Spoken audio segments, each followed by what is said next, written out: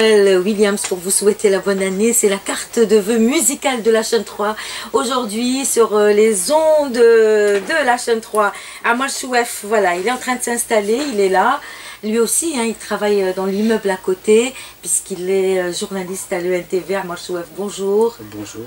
vous êtes journaliste depuis déjà très longtemps Depuis des... Oui, dans, mon modeste euh, expérience professionnelle euh, dans la télévision et par rapport aux œuvres que, j'ai pu réaliser jusqu'à aujourd'hui, euh, je ne suis pas ancien. Vous êtes, non, vous, êtes, vous faites partie de cette génération qui est arrivée dans les années 90.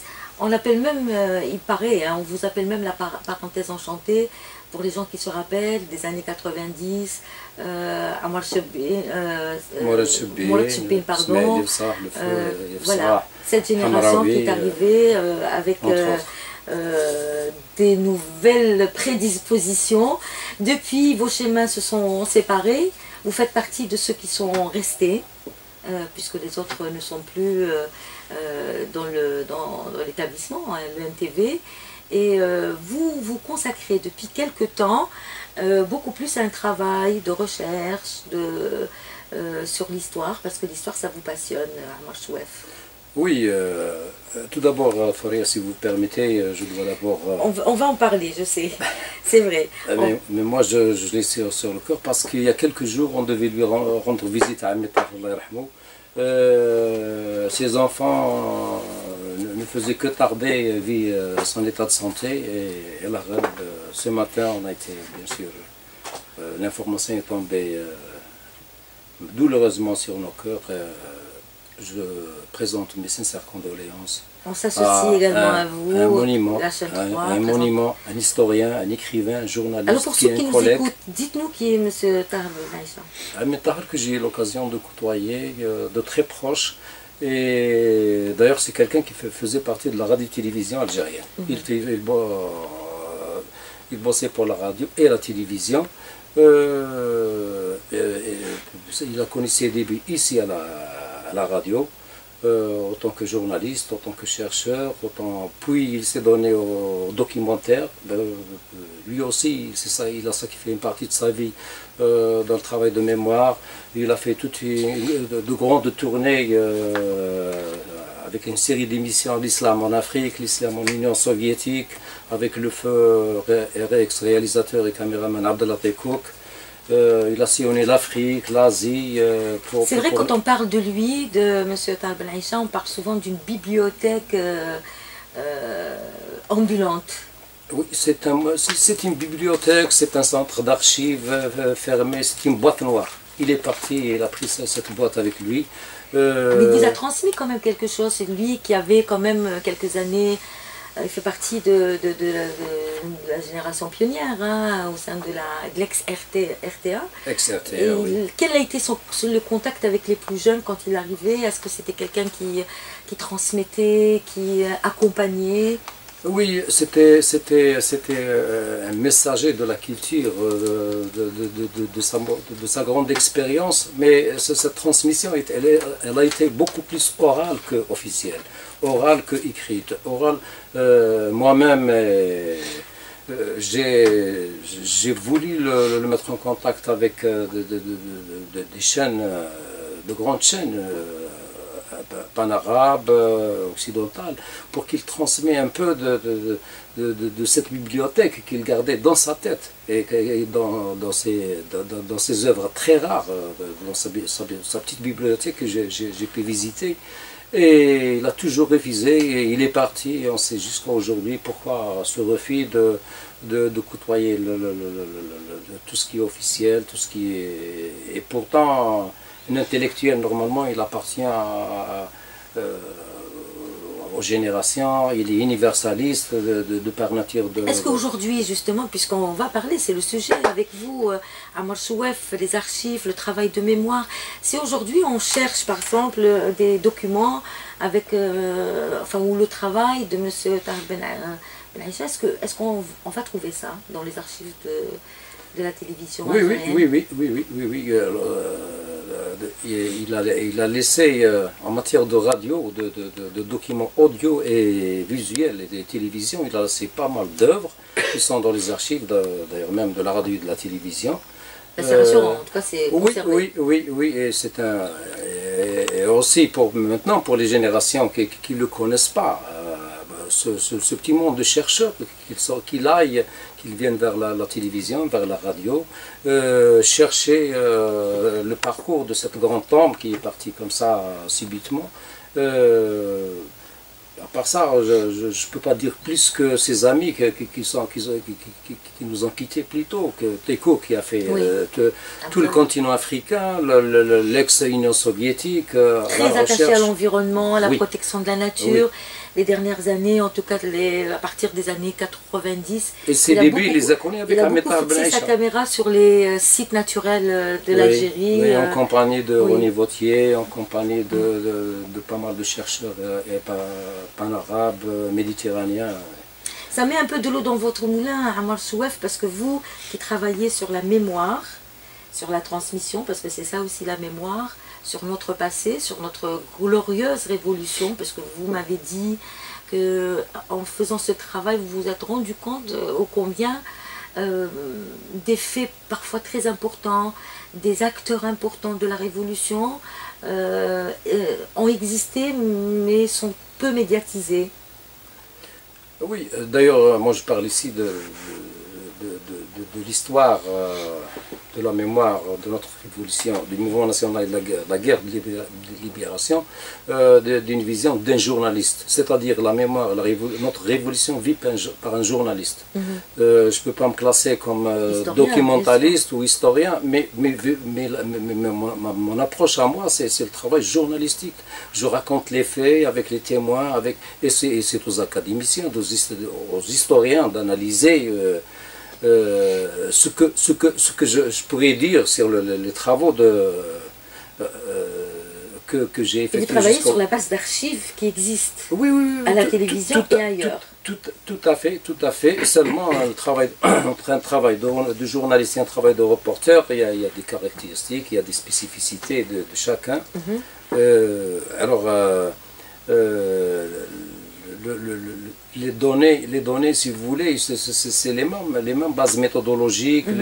les, mêmes critères de, euh, qu'un réalisateur, sauf que le réalisateur, il se penche beaucoup plus vers le langage cinématographique, il fait, il fait un travail de conception, euh, il, euh, il, reconstitue les faits. Et, nous, on a on n'a pas ces moyens-là en tant que service public, en tant que, mm. que journaliste même. Est-ce que vous n'avez pas les moyens ou est-ce qu'on ne donne pas les moyens pour ce genre de travail? Écoutez, pour, euh, maintenant, euh, euh, il y a, pour, le, pour le travail de mémoire, on n'a pas dégagé les moyens adéquats pour rendre cette mémoire crédible aux générations à venir, pour faire un travail d'investigation sur l'histoire, pour bien raconter l'histoire, euh, raconter quelque chose, surtout la, la, radio et la télévision, c'est un, travail sur les lieux, c'est un repérage, c'est euh, réunir... Euh, Mais en plus, il y a la responsabilité aussi de faire un travail attractif, qui attire les gens, qui les...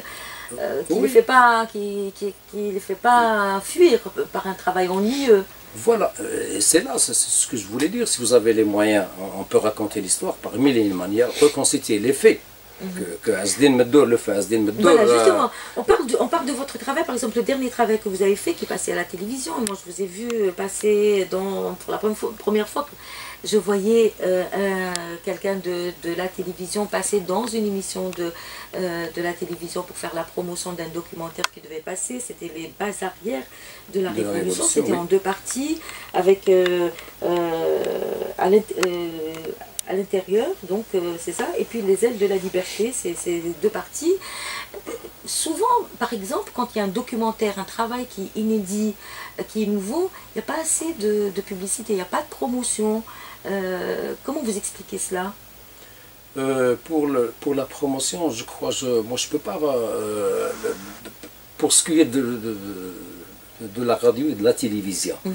Euh, depuis que ces, deux institutions, audio et sont devenues euh, épique, c'est-à-dire industriel et commercial, euh, c'est, ce, travail de promotion, ce travail de, prime time, etc., il est filtré par le. Il est plutôt il est, il est décalé, il vient après le, volet commercial. C'est pour ça que le, les prime time, généralement, vous, le trouvez dans les grands films, dans les émissions, dans les, les feuilletons, etc parce que les gens ici, ils mettent leur argent, ils placent leur argent. Vous voulez dire que les programmateurs euh, n'attachent pas ils sont soumis, Ils sont soumis à pas mal de critères, y compris le critère commercial. Pourtant, c'est une télévision publique. Voilà. Et, normalement, pour le service public, ce travail de mémoire, de l'histoire, etc., c'est un aspect, c'est un volet de souveraineté de la mémoire euh, mhm. du peuple algérien. Normalement, il est au-dessus de tout ça, du côté commercial, du côté. S'il nécessite un travail euh, de mémoire, s'il nécessite qu'il sera en prime prime et avant le volet commercial, oui, il peut passer. Mais nous, malheureusement, les textes qui réagissent, cette radio et cette télévision, ne non, pas. de la télévision, parce que la radio, il y a quand même un travail de promotion quand il y a des documents importants ou un travail important. Ça ne passe pas avant occasionnellement, occasionnellement seulement. Euh, euh, mais, euh, pour revenir à votre travail, vous avez cité juste avant, juste avant que je, vous pose cette question, vous avez cité Asdi Meddol. Et tout le monde se rappelle le travail qu'il a fait, et notamment un documentaire qui est sorti dans les années 80, ô combien je vous aime, ça a fait un, sacré, un sacré bruit. Il y a eu du bruit autour de ce documentaire. Euh, Medoul était réalisateur et non pas journaliste, on le rappelle, puisque vous-même vous l'avez dit, il y a deux façons de travailler le documentaire. Il y a le documentariste, il était formé, hein, il était documentariste de formation, réalisateur documentariste. Il avait fait un travail euh, sur les archives extraordinaire en se basant sur les archives qui, qui existaient à la télévision algérienne. Et puis, bon, il avait, il avait toute la mise en forme, le, choix de, du narrateur, euh, Abdelkader Aloula, euh, etc. Et quand il est sorti, il y a eu médiatisation à l'époque. C'est un film qui a été montré au public en dehors des murs de la télévision. D'ailleurs, c'était peut-être un des moments où le documentaire euh, algérien fabriqué à l'intérieur d'une entreprise comme la télévision euh, est sorti un peu des murs de la télévision. Il y a eu euh, même des projections à l'extérieur. Sauf le contexte dont vous parlez permettait, les pouvoirs publics mettaient, mais, il accordait déjà de l'importance à, la mémoire. Et de, l'époque dont vous, venez d'évoquer, c'est l'époque où l'État euh, euh, mettait les grands moyens. D'ailleurs, il y avait une structure même de production qui est notre entreprise de, production audiovisuelle, le MPA. Et il y avait des monuments. Ça, Asdin Meddour, Lamine Merbah, le co-auteur Majid Slamna, qui, qui s'est formé par la suite dans l'école, Mohamed Ayesh, que je salue par, par l'occasion. Oui, qui continue malgré qui continue malgré les moyens qui, qui, disparaissent, qui disparaissent de jour en jour et ils vont vers le, vont être épuisés. il y avait beaucoup, beaucoup de l'époque dont vous parlez, euh, il y avait le film documentaire. Et pour, pour, pour faire la part des choses, et un reportage de, qui, est euh, historique, un document historique. On y reviendra. Vous, je voudrais accueillir euh, avec nous Nadib Kateb. bienvenue. Merci beaucoup. Vous connaissez bien la maison, vous connaissez même bien la chaîne 3. à un moment donné, vous avez collaboré évidemment dans, dans des émissions un très long moment. Et aujourd'hui, vous, êtes, vous venez nous parler de ce festival euh, international de la musique euh, andalouse qui, qui, est passé. C'était dans la dernière quinzaine, pratiquement dans la dernière semaine du mois de décembre. Mhm. Musique euh, ancienne aussi. C'était un très grand événement attendu avec une participation étrangère, l'Irak, le Japon, avec un symposium sur le canon pour la première fois. Cet instrument si particulier dans la musique notamment arabe. Alors, euh, euh, vous allez un peu nous raconter les bons moments, les grands moments de, ce, de cette manifestation, euh, Najib. Les bons moments, vous savez, commencent dès le premier jour. Oui. Donc, il n'y a eu que de très très bons moments, vu l'afflux du public. Mm. Donc, c'est toujours archi C'est la dixième édition. Il n'y a pas eu de faille jusqu'à aujourd'hui. Euh, il y a eu le festival Sanaa qui a précédé, puisque vous savez que le Festival international de la musique classique arabe-andalouse et des musiques anciennes doit euh, mettre dans son giron les premiers prix Donc le premier prix du festival Granate de Tlemcen, le premier prix du Melouf de Constantine et le premier prix de la Sanaa d'Alger. Ils doivent participer à ce grand événement. En fin de compte, euh, il y a un, brassage entre les cultures. C'est ce que nous, nous, voyons dans ce festival. Donc il y a eu le, le Japon, bien sûr. Et ça, euh, dans la participation musique ancienne Oui, musique ancienne. Il y a eu le Japon, il y a le Portugal, il y a l'Espagne, euh, il y a eu l'Égypte, l'Irak, la Syrie mm. et l'Iran, qui ont donné quelque chose d'extraordinaire. Donc le public a été très réceptif à ce genre de, de, musique très ancienne. mais qui reste quand même. Décembre, oui, du 20 au 26 décembre. Mais qui reste quand même. Ce qui est intéressant, enfin pour moi, puisque je suis partie prenante de la musique classique algérienne, effectivement, c'est toute ma vie. Donc, il y a, quelque chose qui, qui, se déroule. Donc, on peut faire la différence, même le public, la différence entre la musique classique algérienne et les musiques anciennes de par le monde. Donc, elle est considérée une des plus vieilles musiques symphoniques dans le monde, puisqu'elle est née en 822. Sa structure s'est terminée en 850. Il y a eu plusieurs siècles d'inventions, de, de, de, modes et de rythmes et, de nouvelles, comme on, les appelle. Euh, ça nous permet de voir l'évolution de cette musique aujourd'hui, mais aussi ça nous permet de voir euh, ce que contiennent les musiques anciennes de par le monde les plus anciennes, c'est les musiques indiennes, dans le raga. Mais quand même, notre musique reste très très riche, point de vue structurel, point de vue mode, point de vue rythmique. Euh, je pense qu'elle est, euh, comment dire, tout à fait euh, en haut de l'échelle. Mhm.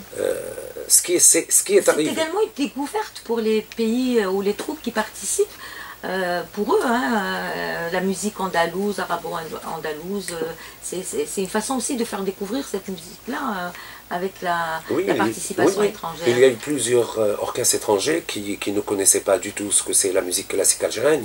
Ils, sont là, ils la découvrent et ils s'étonnent. Ils s'étonnent de voir des orchestres. De ce patrimoine. Mais aussi, ce qui, ce, qui, ce, qui, ce qui est frappant, c'est la mixité dans la majorité des orchestres.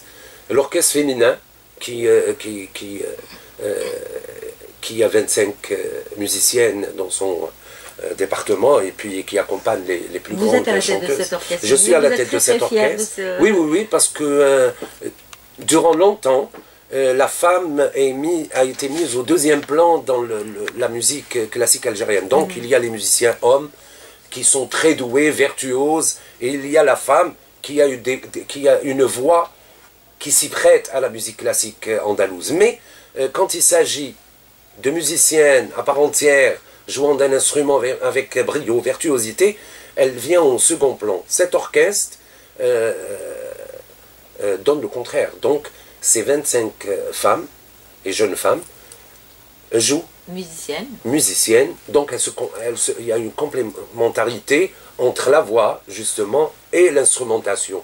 Je suis très heureux d'en de, de, de, parler, puisque c'est un, comment dire, là, on est, on est arrivé au but euh, requis. On écoute un peu? Si vous voulez.